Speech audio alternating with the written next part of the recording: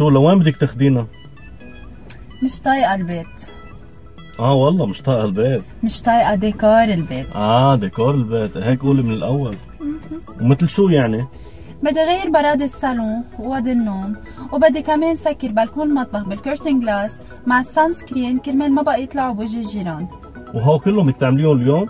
محل واحد بس الغاوي